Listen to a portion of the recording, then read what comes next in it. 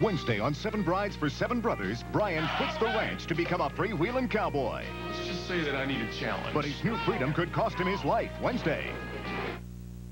Friday on the Dukes of Hazzard, it's the hottest election news ever when Huey Hall and his gang use blackmail to take over Hazzard County. Friday. Saturday on CBS, the creepiest, sneakiest holiday villain of them all is back.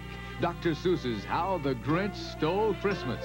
Then, No sense in hanging stockings, Dad. was the night before Christmas and only one mouse could make sure that Santa got to everyone's house. Great holiday moments Saturday night on CBS.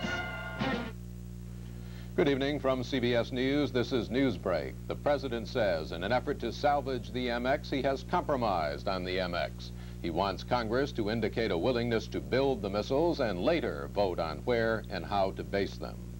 Woman wanted in connection with the Tylenol case gave herself up in Chicago today.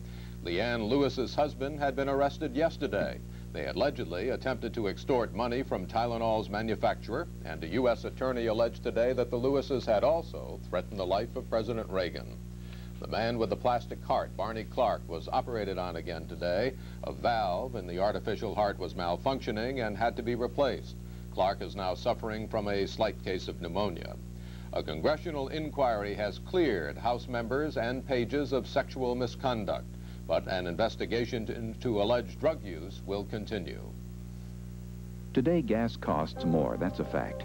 But in most places, gas costs less than other energies, today and tomorrow. I'm Morton Dean, CBS News, New York. More news later on this CBS station. This is CBS.